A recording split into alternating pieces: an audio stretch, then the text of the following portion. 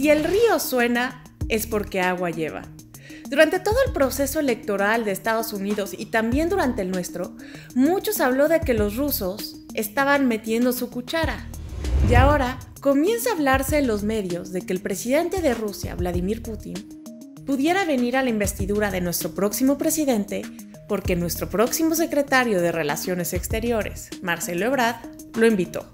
Esto sería un hecho histórico e insólito porque jamás un presidente de Rusia ha venido a la investidura de alguno de nuestros presidentes y sería un claro mensaje de cómo el mundo está cambiando.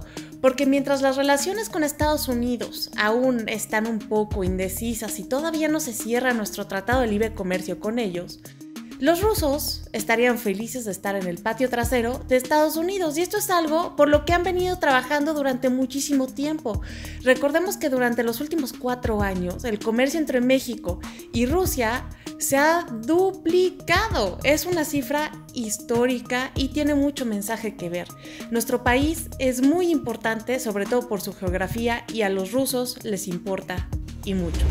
Estemos pendientes a lo que decida Vladimir Putin. Yo soy Stephanie Enaro y los invito a seguir escuchando esta opinión y otras más en ruizgilitimes.com.